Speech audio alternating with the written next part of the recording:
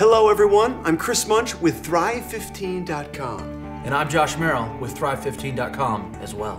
You know, there's something very important that we'd like to talk to you about. And that's corporate sponsorship. We want you to know that we here at Thrive 15 will never sell out to the man. And that's as refreshing as this ice cold Coca Cola Classic. Ah, now that's good Coke. We will never stoop down to that level because I know we can be better. Better ingredients, better pizza, Papa John's. We're better than that. And quite frankly, we're above it. Ooh. I don't always wear deodorant, but when I do, I wear Old Spice. And that's as refreshing as an ice cold Coca Cola Classic. Mmm, that's good Coke. Even when our competitors say, just do it, we will never bow to the whims of corporate sponsorship.